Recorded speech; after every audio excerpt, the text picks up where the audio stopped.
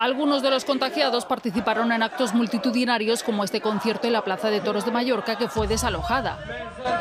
Estamos ya en más de 300 positivos repartidos entre Madrid, la región con más casos, 245, Comunidad Valenciana, Murcia, Aragón y País Vasco, todos estudiantes que coincidieron en Mallorca durante sus viajes de fin de curso tras la EBAU.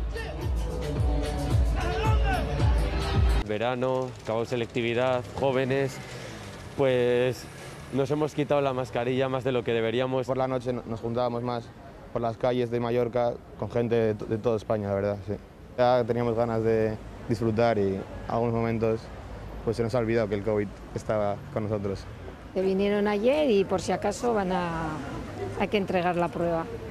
Como ella, familiares de algunos de estos alumnos del País Vasco han acudido hoy a ambulatorios para llevar las muestras de saliva. Calculan que harán el cribado a entre 250 y 300 personas. Por ahora han detectado 49 positivos. Había momentos en los que sí tomábamos eh, precauciones y tal, pero bueno, había otros pues en los que no.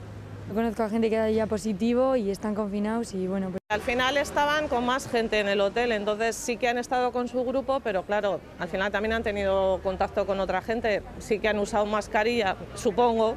En el País Vasco los casos secuenciados son de la variante Delta, la India, mientras que en la Comunidad Valenciana y Madrid se ha aislado la Alfa, la británica.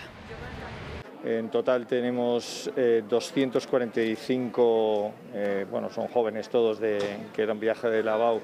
Y además en Madrid hay 540 contactos en seguimiento.